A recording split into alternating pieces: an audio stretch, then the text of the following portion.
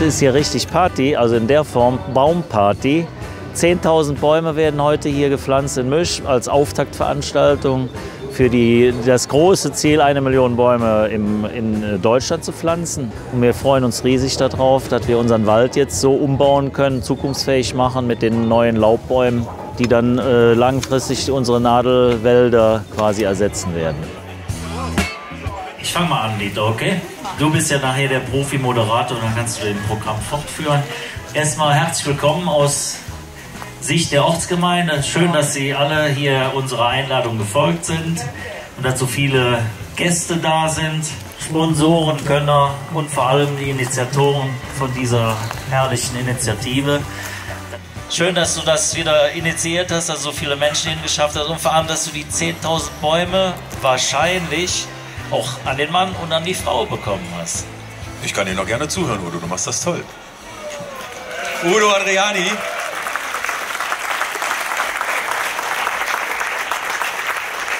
Seitdem ich ihn kenne, nenne ich ihn den besten Bürgermeister der Welt. Vielleicht habt ihr gerade gemerkt, warum. Wir von Robin Gut haben gesagt, weil wir oft gefragt worden sind, hey, als Initiative für nachhaltiges Leben, wie kann man das unterstützen? Und dann haben wir gesagt, wie wäre es denn, wenn wir Bäume pflanzen? Und was gibt es Nachhaltigeres, als eben einen Baum zu pflanzen? Und das war so die Idee mit der Kraft der Community. Auf der einen Seite also sind ganz viele von euch, jeder einzelne Baum, der zählt, aber auch mit der Kraft von großen ähm, die Firma Reber ist hier mit den Azubis, die hier gleich pflanzen werden. Die Firma LEW aus meiner Heimat, die uns mit vielen Bäumen unterstützt hat. Die Firma Bruns ist da, von denen wir die Bäume bekommen haben, die die Prominenten gleich noch so ein bisschen verschönern dürfen. Und ähm, meine prominenten Unterstützer, die ihr zum Teil auch an den grünen Shirts erkennen, sind halt diejenigen, die mit ihrer Reichweite dafür gesorgt haben, dass eben diese Botschaft von uns so weit ausgetragen worden ist. Das Motto ist, dass wir zählt. Und auch da steckt eigentlich schon alles drin. Und in dem Bier ähm, haben jetzt hier alle zusammengefunden, weil jeder für sich so einen kleinen Teil dazu beitragen kann.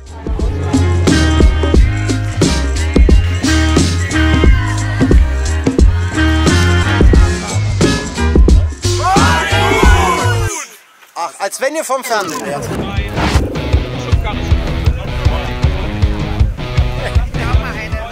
Also der Dieter hat mich angerufen, kurz nachdem er die, das hier ins Leben gerufen hat, ob ich mich dafür einsetzen äh, würde und ob ich da Baumpate werden will. Und ähm, ich finde das, was wir hier machen, so sinnvoll, nämlich Bäume zu pflanzen, ähm, dass ich gesagt habe, das unterstütze ich nicht nur hundertprozentig, das unterstütze ich tausendprozentig. Und wir zwei haben da und auch viele andere richtig Vollgas gegeben. Das freut mich, dass wir so viel hier auf die Beine stellen konnten.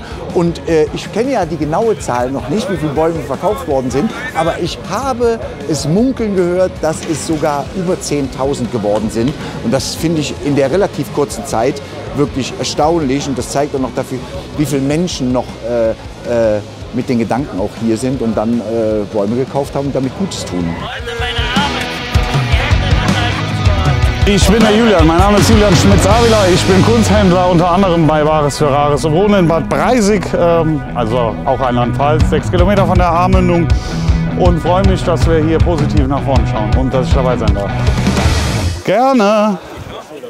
Ja, ich, mein Baum ist versorgt. Ich halte Ausschau nach weiteren Bäumen, aber stelle fest, woher kann noch Erde gebrauchen? Ich hätte gute Erde zu vergeben. Ja, ich, ich weiß es nicht pflanzen heute hier hauptsächlich Linden, das ist eher also die Winterlinde und die Hopfenbuche. Die Hopfenbuche kommt eher aus dem südlichen Bereich Europas und gehört zu den sogenannten Zukunftsbäumen. Die halt sind klimaresilienter, kommen mit mehr Hitzestress äh, auch aus, müssen nicht äh, täglich gegossen werden.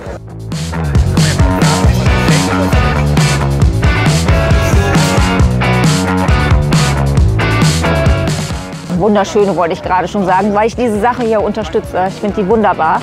Äh, Dieter hat da echt was Tolles äh, ins Leben gerufen und hat mich gefragt und habe natürlich gesagt, natürlich bin ich dabei, was für eine Frage.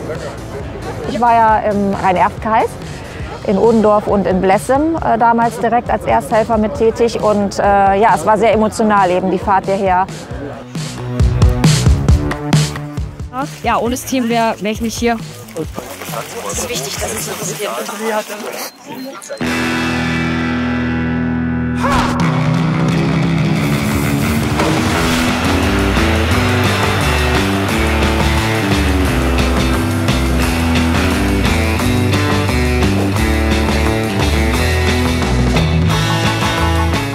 Diese Fläche haben wir bewusst ausgesucht. Wir wollten eben nicht mehr in den A-Bereich gehen und wir wollten hier oben auf der Höhe das Wasser praktisch halten.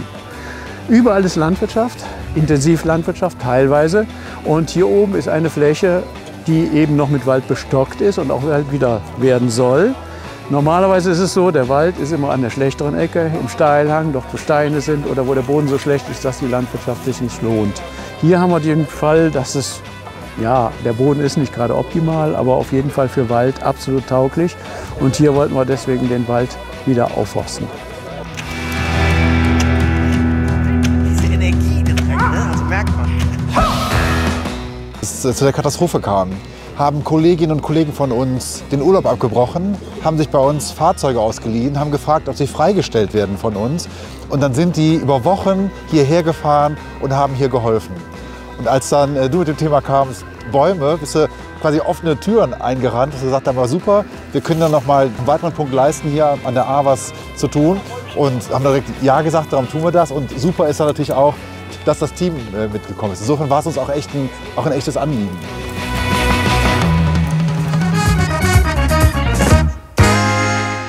Also wir haben für einen Kunden, für eine Logistikfirma, die hier auch vertreten sind, hatten wir ein Interview 2022 mit dem Dieter. Und dann sind wir irgendwie im Nachgang in Kontakt geblieben und dann hat er uns von der Ahrtal-Aktion erzählt und wir waren begeistert. Und genau, so kam die Zusammenarbeit. Wenn ich das mal sagen kann, ich würde es mal als solches beschreiben, wie hinten auch drauf steht.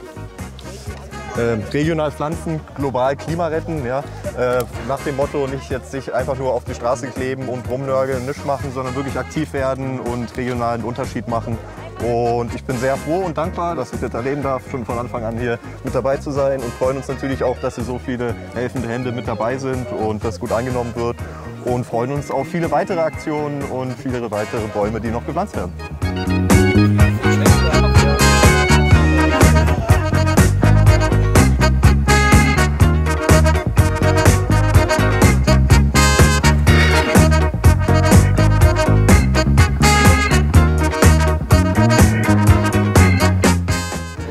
Super für mich, tatkräftig dabei zu sein bei einer Aktion, die richtig klasse ist, die richtig Sinn macht und die dann auch noch, wir haben es in der Gruppe erlebt, richtig Spaß macht. Das ist wichtig für die Böden hier selbstverständlich auch.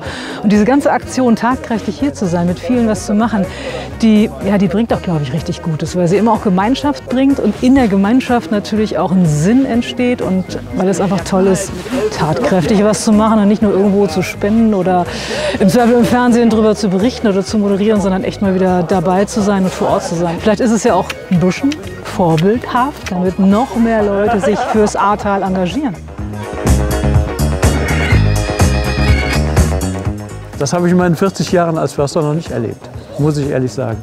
Und dann noch, dass da Kinder bei sind, das ist mega toll. Und das freut mich umso mehr, wie gesagt, weil das die Nachfolgegeneration ist oder Enkelfähigkeit, wie ich eben sagte, mal was mehr hat als wir. Wir oder ich werde es nicht mehr erleben, meine Kinder vielleicht noch, aber hoffentlich meine Enkelkinder oder die Kinder, die jetzt hier auf der Fläche rumlaufen, die haben was davon.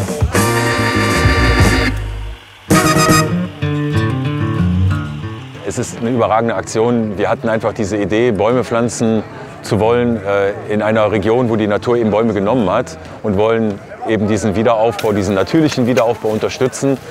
Mit der Kraft der Community und was dabei rausgekommen ist, macht mich echt ein bisschen sprachlos. Wir haben über 14.000 Bäume zusammenbekommen. Ich möchte mich bei jedem Einzelnen fast am liebsten persönlich bedanken, weil am Ende geht es nur so. Und ich habe es gerade schon mal gesagt, ich sage es gerne jetzt nochmal, genau so funktioniert Solidarität. Von der kleinen Baumspende bis zum großen Unternehmen, alle haben mitgeholfen, alle machen gerade mit und großartig.